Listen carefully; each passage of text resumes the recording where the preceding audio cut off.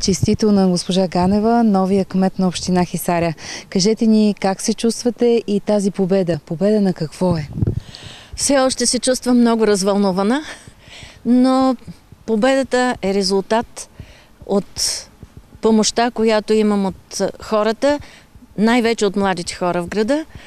Надявам се да мога да работя, да имам достатъчно сили, да работя опорито, за да оправдая доверието на тези, които са ме подкрепили.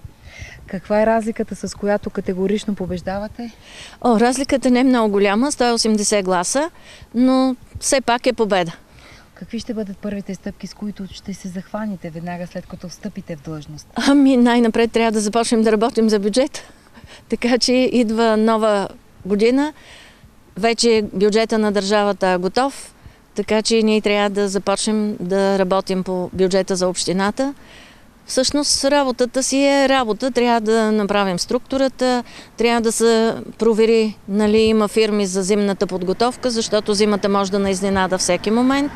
Така че работа си има в общината и се надявам, че ще има от първия ден. Това, че имате управленски опит вече, вие сте и прецедент в историята. Отново повтаряте мандат с едно малко прекъсване от 4 години. Прави ли ви по-отговорна? Да, много по-голяма е отговорността, която поемам сега пред гражданите. Те знаят какво мога и резултатите, които съм постигнала преди, ме задължават в момента да работя още по-усилено, за да бъдат по-добри в следващия мандат.